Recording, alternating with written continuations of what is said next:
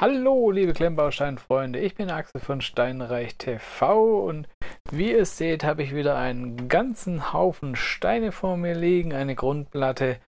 Das heißt, es ist wieder Zeit, was Neues anzufangen, was zu bauen. Und wenn ihr mich jetzt kennt, dann wisst ihr, hey, Grundplatte, das wird doch sicher ein Modular.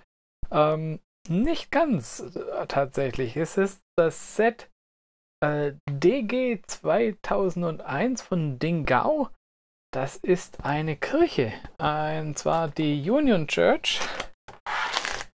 Hier. Die Union Church, die hat rund 2350 Teile. Und es ist eine Kirche, die sehr bunt ist hier auf den Bildern. Aber tatsächlich ein reales Vorbild hat. Das ist in Shanghai. Das ist eine 1886 erbaute protestantische Kirche, die irgendwann im Laufe ihres Bestehens äh, dann umgebaut worden ist zu einem Bürogebäude. Das wurde also als Bürogebäude genutzt und dann jetzt vor 15 Jahren meine ich, äh, renoviert und wird jetzt so als Ausstellungsgebäude, also als Ausstellungsräume und so genutzt. Ähm, ich habe auch gehört, dass dort wohl standesamtliche Hochzeiten durchgeführt werden, aber halt nicht mehr wirklich als Kirche in Einsatz ist. Ähm, wie wir hier sehen können, sind da Figuren mit dabei.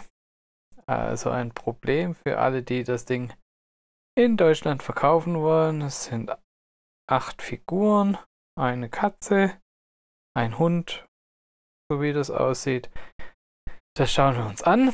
Ähm, Dingao ist äh, ein Hersteller, den ich selber noch nicht gebaut habe, aber ähm, Dingao ist ein Ableger von Sembo oder ein, sie sind zumindest damit verbandelt gewesen oder sind es noch. Da gab es in letzter Zeit ein bisschen hin und her.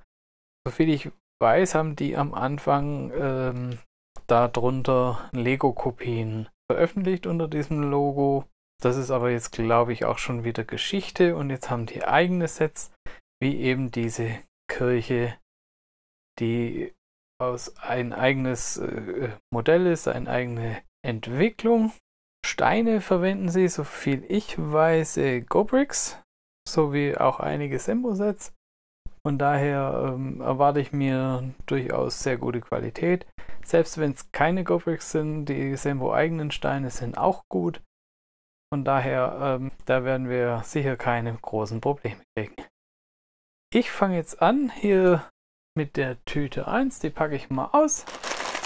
Das ist hier schön praktisch alles zusammen in, in den Tüten hier untergebracht. Ich hoffe, dass das auch passt, die V-Sortierung. Schauen wir mal kurz noch in die Anleitung. Die, das Format ist etwas kleiner als A4. Äh, für 2400 Teile knapp relativ kurz gehalten. Das Ding hat 62 Seiten. Es ist ziemlich klein gedruckt aber die Druckqualität ist gut. Sachen, die neu gebaut werden, werden wohl rot umrandet. Also von daher, das ist auch kein Problem. Da finden wir uns schon zurecht. Ähm, ja, sollte uns für keine größeren Probleme stellen. Ich würde sagen, wir fangen einfach mal an. Der erste Bauabschnitt wird uns hier die Grundplatte ein bisschen fließen, wie üblich, und die Figuren bauen. Haha, jetzt habe ich gerade die Tüten mal auseinandergenommen. Und hier habe ich eine Tüte, wo genau ein Rockteil drin ist. Na, das nenne ich mal Verschwendung. Ansonsten, ja, die Figuren scheinen mir ziemliche Lego-Kopien zu sein, also so sicher nicht im deutschen Handel erhältlich. Ähm, da muss, muss man wohl Abstriche machen. Ansonsten könnte ich mir durchaus vorstellen, dass das Set auch bei uns im Markt irgendwann erhältlich ist. So, bevor wir erstmal weitermachen, schauen wir uns mal die Figuren an, die wir gerade gebaut haben. Das war der erste Bauschritt. Dann schauen wir mal hier. Hier haben wir ein Mädel gebaut, die hat ein Eis in der Hand und ganz tolle Zöpfe an der Seite. Hier haben wir einen Priester mit einer Bibel in der Hand. Übrigens Drucke. Das unterscheidet sich so mal von den meisten anderen GoBricks äh, Sets. Dann haben wir hier einen Sänger mit Sonnenbrille, ganz cool, ein Mikrofon. Hier eine rothaarige Dame mit Kleid, Schirm und Tasche. Hier eine Dame mit Basecap und, und Tennisschläger, ein Hundchen, einen Rocker mit Gitarre, einen Businessmann mit Aktentasche und Kugelschreiber in der Hand oder Füller. Und hier, weiß nicht, einen jungen Mann und eine Katze. Drucke sind toll, die Qualität insgesamt der Figuren ist gut. Hier haben wir die Rückseiten, die sind auch alle bedruckt. Und schauen wir mal die Beine an. Hier vom Priester, die sind bedruckt. Sie hat kurze Beine. Der Rock ist bedruckt, die anderen sind nicht bedruckt, die haben ganz normale Beine. Aber, also die Qualität der Figuren ist ziemlich gut. Also da ist es tatsächlich ein bisschen schade, wenn man die Set in Deutschland kauft und die Figuren nicht mitkriegt. Aber die gibt es garantiert nicht mit, weil das sind ganz klassische Lego-Figuren. Äh, direkte Kopien, da braucht man keine Illusionen haben, dass das im deutschen Markt ein deutscher Händler irgendjemanden anbietet. Ich finde es vor allem schade, also den Priester finde ich ziemlich cool.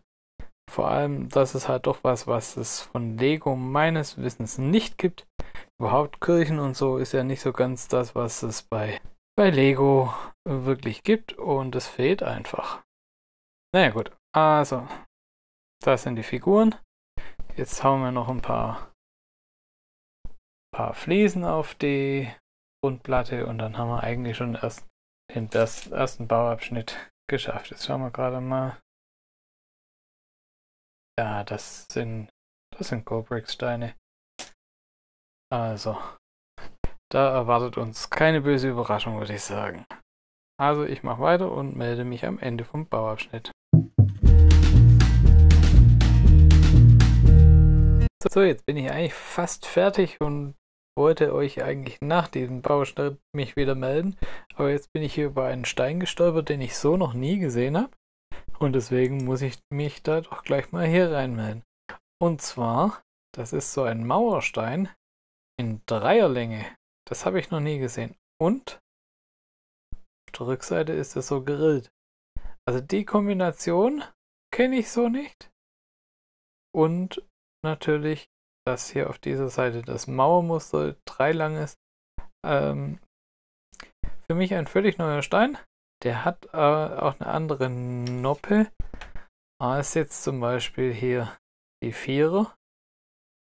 Das müsste GoBricks sein. Mit der flachen Noppe. Ohne, ohne Loch drin. Und hier hat es ein, ein Angusloch. Genauso hier wie bei diesem Eckmauerstein. Übrigens auch ein Teil, das ich noch nicht kenne. Es ist ebenfalls kein typisches Bauteil, das man so von Lego oder von den meisten anderen Herstellern kennt. Aber beides in diesem Fall kein Go-Bricks. Da muss man schauen, wie die halten. Ich, ich nehme einfach mal an, dass die genauso gut halten wie die, wie die anderen. Ähm, aber das wollte ich euch jetzt mal zeigen, weil das ist für mich neu. Oh je, ganz prima. Jetzt stelle ich gerade fest, ganz am Ende von diesem Bauabschnitt, dass ich mich hier doch glatt tatsächlich verbaut habe. Und zwar, hier habe ich eine Nuppenreihe zwischen den, der Außenwand und den Fliesen. Die sollte nicht da sein. So, nun habe ich meinen Fehler korrigiert. Jetzt ist, sind alle Fliesen an der richtigen Stelle. Die Bricks sind angebracht und soweit sind wir nach Bauabschnitt 1.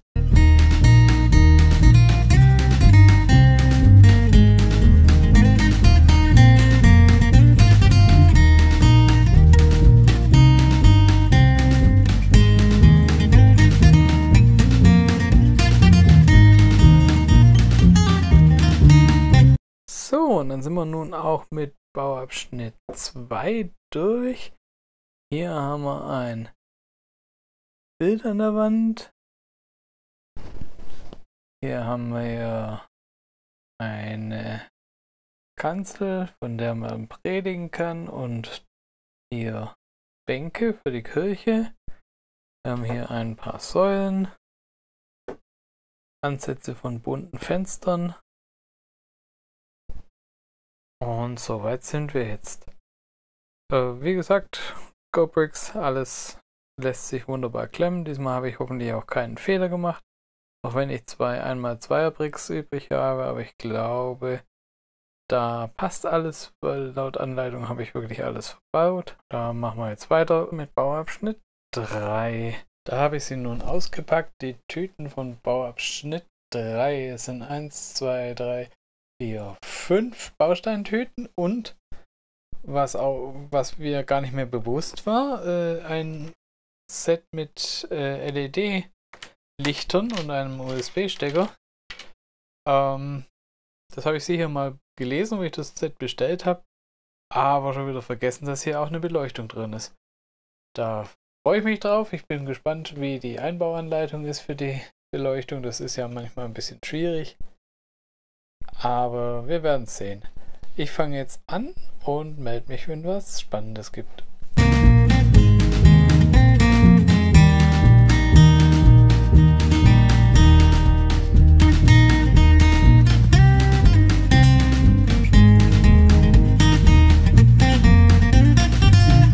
So, jetzt haben wir gerade einen Altar gebaut und einen Kerzenständer hier äh, mit fünf Lichtern drauf. Der Altar ist natürlich recht mächtig und bedeutet, dass der Priester hier vor seinem Rednerpult eigentlich gar nicht stehen kann. Aber das sind Details, da machen wir uns keine Gedanken, da muss er halt daneben stehen. Bisschen unpraktisch, aber dafür haben wir hier schöne viele Details im Gebäude, was auch schön ist.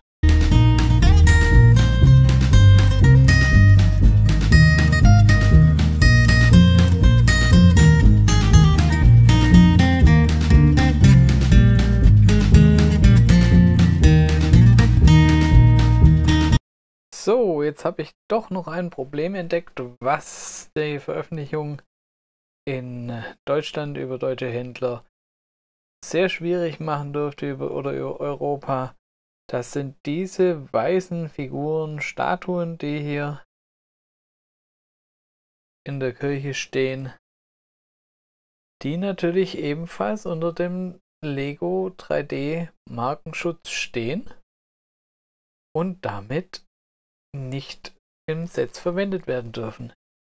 Das Problem ist, die sind natürlich mitten in den Bautüten des Bauabschnitts drin und nicht wie die Tüten des ersten, äh, die, die Figurentüten einfach im ersten Bauabschnitt und zusammen. Die kann man einfach rausnehmen. Hier wird es schon deutlich schwieriger. Da müsste man genau gucken, welche Tüten man da aussortieren müsste. Ich glaube, das lohnt sich dann nicht mehr. Es würde deutlich teurer werden. Ja, und ansonsten haben wir hier einen Beichtstuhl gebaut. Und hier, so, das sieht aus wie ein, ein Broschürenregal. Vielleicht ist es auch gedacht, um hier Kerzen aufzustellen und anzuzünden. Also irgend, irgendeine Art Regal. Nehme ich an. Aber auf jeden Fall haben wir jetzt hier schon ein paar coole Details eingebaut. Mir gefällt es bisher richtig, richtig gut. Und jetzt geht's weiter mit Bauabschnitt 3.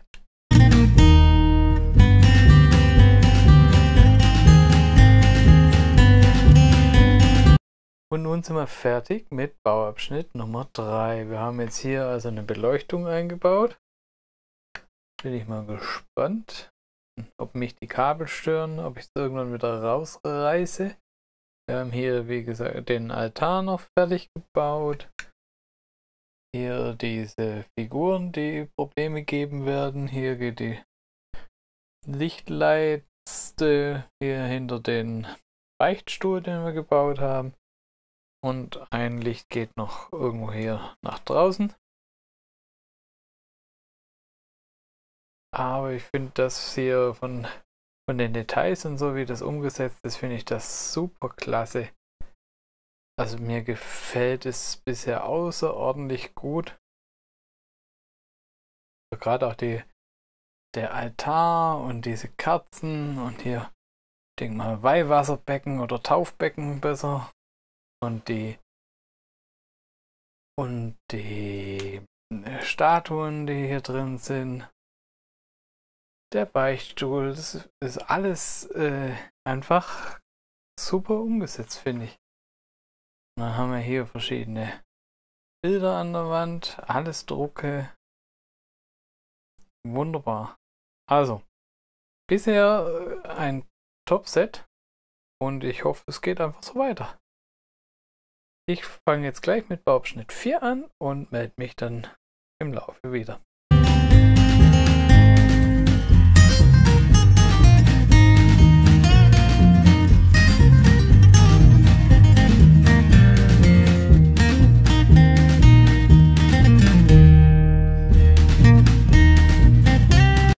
So, und dann sind wir nun fertig mit Bauabschnitt 4. Wir haben jetzt hier in diesem Bauabschnitt erstmal vor allem die Wände hochgezogen und hier haben wir Glasfenster drin, Buntglasfenster.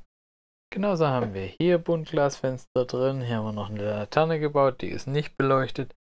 Hier haben wir diesen Rundbogen, der wird wahrscheinlich, wenn hier die, eine Plate drüber gezimmert ist, dann hoffentlich auch so zusammenstehen, dass hier nicht so eine Unebenheit drin ist im, im Bogen.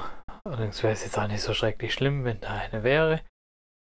Und hier haben wir noch einen Vorhang vor, die, vor den Beichtstuhl gemacht. Das ist natürlich auch gut. Brauche ja ein bisschen Privatsphäre bei der ganzen Geschichte. Ja, also ich bin bisher wirklich sehr, sehr zufrieden mit dem Set. Die Steinequalität ist super. Viele schöne Details im Innenraum. Und die farbigen Fenster gefällt mir sehr gut. Ähm, ich bin auch gespannt, wie es dann aussieht, wenn die, wenn die Beleuchtung angeschlossen ist und das dann auch alles leuchtet, gerade hinter den bunten Fenstern. Ich, ich erwarte da durchaus äh, ein, ein schönes Ergebnis. Ähm, das war's jetzt von mir in diesem Video. Die Bauschritte 5 bis 8 kommen dann im nächsten Video. Ich hoffe, euch hat's gefallen. Bis dann, euer Axel für Steinreich TV.